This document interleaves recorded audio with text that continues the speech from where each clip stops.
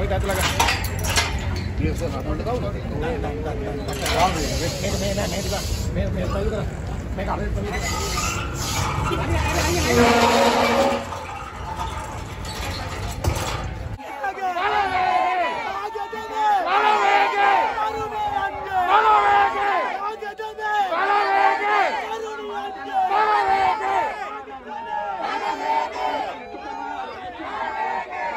ගන්නා ස්ථානයට ඉතාමත් නුදුරු පොලිස් ස්ථානයේ ස්ථානාධිපතිතුමාට යටත් පිරිසෙන් පැයකට කලින් දැනුම් දීමක් නොකර පෙළපාලියක් පැවැත්වීම තුළින් පොලිස් ආඥාපනතේ 78 දෙක වගන්ති යටතේ ගැනෙන වරදක් හා හෝ වෙනත් වැරදි සිදු කිරීම තුළින් නීති විරෝධී රැස්වීමක සමාජිකයන් හා හෝ මහජන සාමයට බාධාවක් වේ හැකි තැනැත්තන් පස් දෙනෙකුගෙන් හෝ ඊට වැඩි ගණනකින් යුත් වූ රැස්වීමක සමාජිකයන් ලෙස කටයුතු කරන නුඹලා සියලු දෙනාට වහාම විසිරෙන ලෙස පොලිස් පරීක්ෂකවරයෝ අපි පැහැදිලිව කියනවා මේ මර්ධනය නතර කරන්න මොන නියෝග ආවත් ජනතාවට පහර දෙන්න එපා. ඒ ජනතාවගේ මුදලින් තමයි තම ඔබ තමුන් වහන්සේලා ජීවත් වෙන්නේ. ඒක නිසා ඒ ජනතාවට එල්ල කරන ප්‍රහාරයක් තමුන්ගේ දරුවන්ට තමුන්ගේ බිරිඳට එල්ල කරන ප්‍රහාරයක් කියලා සලකන්න කියන පණිවිඩය දෙන්නයි අද අපි මෙතනට ආවේ. ඒක නිසා අපි තවදුරටත් කියනවා මේ විදියට දිගින් දිගටම මර්ධනය ක්‍රියාත්මක කරොත් උසාවි වලින් අධිකරණ වලින්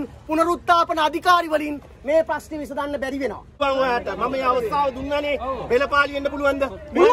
පුළුවන්. මේ තියෙන්නේ.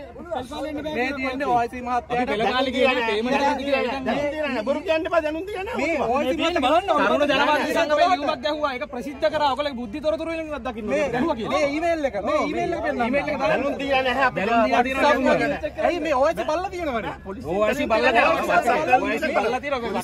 දැනුම් දීමක් කරලා නැහැ. ඔබතුමා මේක සම්පූර්ණයෙන් ඩිනයි කරනවා